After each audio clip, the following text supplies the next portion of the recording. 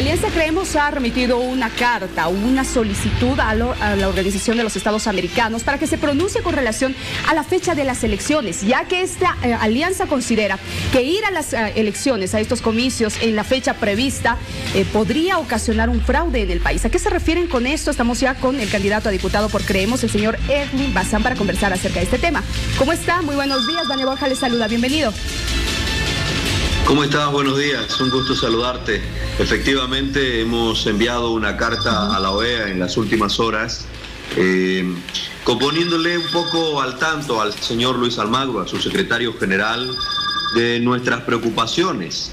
Recordemos todos que eh, la misión de observación electoral de la OEA en nuestro país descubrió un sinfín de irregularidades en todo el proceso electoral y quedó en evidencia el monumental fraude que perpetró Evo Morales y el movimiento al socialismo. Y estos documentos de la OEA, este informe, fue testimonio ante el mundo del fraude, de que Evo Morales es fraude. Y en ese contexto eh, se hizo una nueva convocatoria de elecciones. Pero mira tú, ocho meses después de aquel fraude, eh, pareciera que los bolivianos estamos haciendo como que nada pasó, como que no hubo fraude. ¿Por qué? Porque ocho meses después no se ha tocado en absoluto esa maquinaria del fraude. Ocho meses después, esa, ese sistema electoral que Evo Morales usó para perpetrar el fraude y, e intentar engañar a los bolivianos sigue intacto.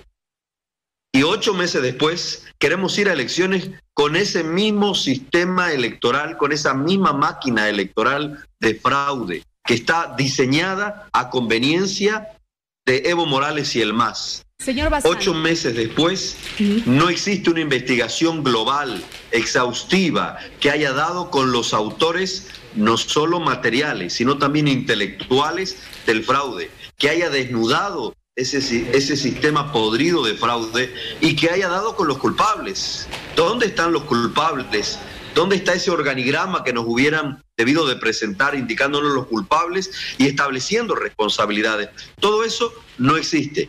Sigue el mismo sistema electoral, mismos notarios pagados a sueldo por el movimiento al socialismo, mismo, mismas autoridades eh, del sistema electoral, porque todo el sistema electoral, todos los, miembros del sistema electoral siguen siendo funcionarios contratados por el MAS.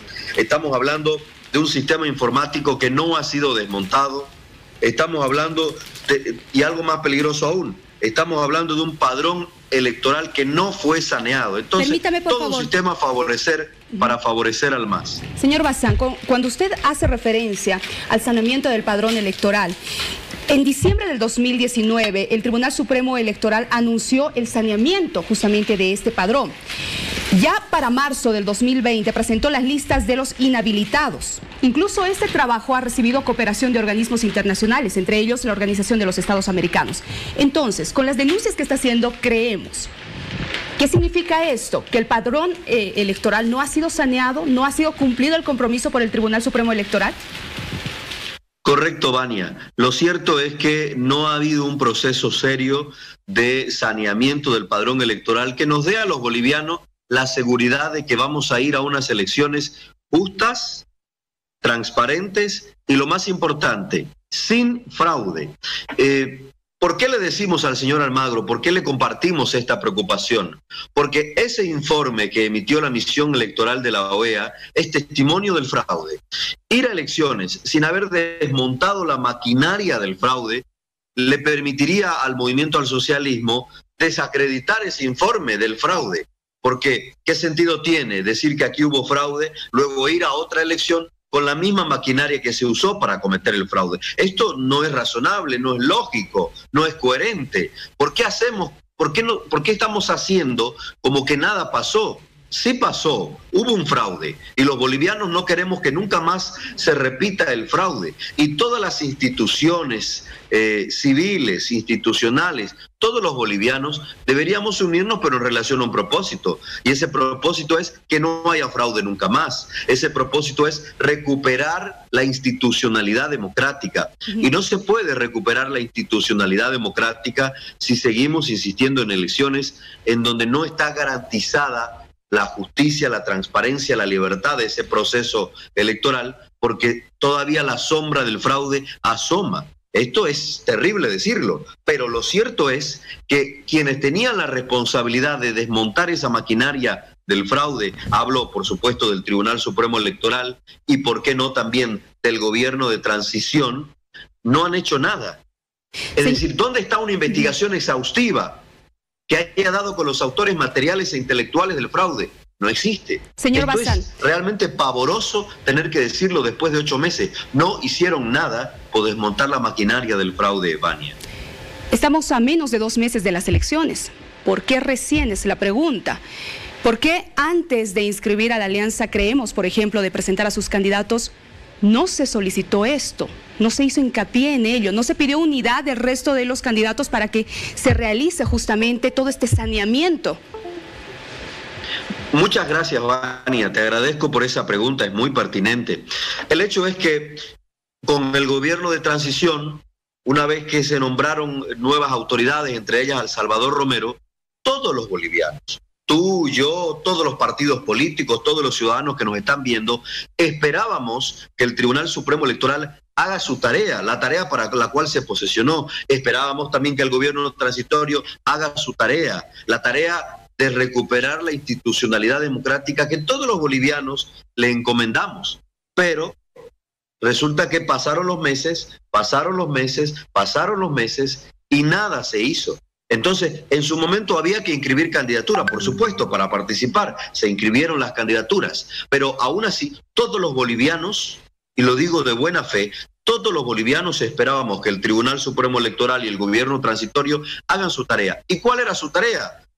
Asegurarnos que la democracia eh, eh, está en buenas manos, asegurarnos elecciones libres, justas, transparentes, y para eso tenían que haber desmontado la maquinaria del fraude, pero pasan los meses y vemos con pavor de que nada se ha hecho. Y no podemos seguir callados, querida Vania, queridos este, compatriotas bolivianos. No podemos callar más. No es correcto callar más ante esta impostura. El gobierno transitorio, el Tribunal Supremo Electoral, con la complicidad de algunos partidos, pretenden llevarnos a elecciones sin haber desmontado antes la maquinaria fraudulenta que usó Evo Morales para favorecerle. No podemos seguir callando más, querida Vani. Ahora, señor Bazán, ustedes van a impugnar que las elecciones, van a impugnar este proceso, van a iniciar acciones contra quiénes, ¿qué más van a hacer?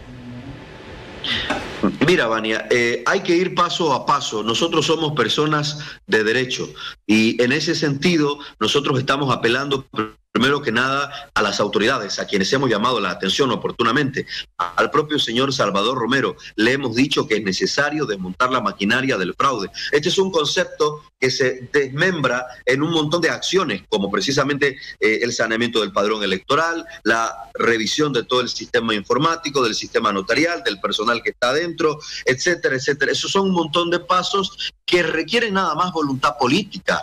No estamos hablando de que esta elección tendría que postergarse por tiempo indefinido, no. Estamos hablando de situaciones que con voluntad política, como demuestran que tienen voluntad política para otra cosa, se pueden hacer y muy rápido. Es decir, no, no, son cuestiones de otro planeta, son cuestiones que se pueden hacer, pero que se tienen que hacer por el bien de la democracia boliviana. otras acciones, como las que tú sugieres, son acciones que se van a evaluar en su momento. En este momento, en este momento lo que estamos haciendo es enviarle una carta al secretario general de la OEA para que se pronuncie, porque en Bolivia nos quieren llevar a elecciones con la misma maquinaria fraudulenta que usó el MAS. Señor y estamos advirtiendo, en segundo lugar, a todos los ciudadanos bolivianos. Este es un mensaje para usted que me está escuchando. No esperamos ya mucho del Tribunal Supremo Electoral porque no ha hecho su tarea en ocho meses. Le hemos dicho que la haga y no lo hizo. Ahora estamos apelando a la voluntad popular que es la que está en peligro, a usted ciudadano, porque es su voto en definitiva el que se pone en juego. Señor Bazán, cierro con esto y le pido que sea breve, por favor, en su respuesta. Carlos Mesa dice que el pedido de que se posterguen las elecciones por la salud es una hipocresía de los candidatos que tienen menos posibilidades de ganar. ¿Qué le responde, creemos? Nosotros hemos manifestado con muchísima eh, frontalidad y muchísima claridad que ir a elecciones el 6 de septiembre, en pleno pico de la pandemia, es realmente atentar contra el derecho a la vida eh, y la salud de los bolivianos. Recuerda que este es el primer derecho consagrado, o sea, este derecho está consagrado en la constitución política del Estado. La vida el derecho a la vida es un derecho que está antes del derecho político. Por tanto, lo razonable, lo coherente, lo humano, lo ético, es que respetemos el derecho a la vida. Esta es nuestra posición, esto es lo más coherente. Y esto no tiene nada que ver con que unos candidatos tengan más o menos posibilidades en el proceso electoral, porque eso es poner el cálculo político por encima de la vida. Eso es poco ético, la verdad lo correcto, lo razonable, lo que tenemos que hacer todos, incluyendo la clase política, es defender la salud de los bolivianos. Decir que vamos a ir a elecciones en el pico de la pandemia es exponer la vida de los bolivianos. Por suerte, estamos del lado de quienes defendemos la vida de los bolivianos y no de quienes defendemos intereses políticos. Bien, señor Bazán, le agradezco mucho por este contacto. Gracias, estaremos pendientes también a las repercusiones. Muy amable, que le vaya bien. Gracias, Vania. Un saludo al pueblo boliviano. Tenemos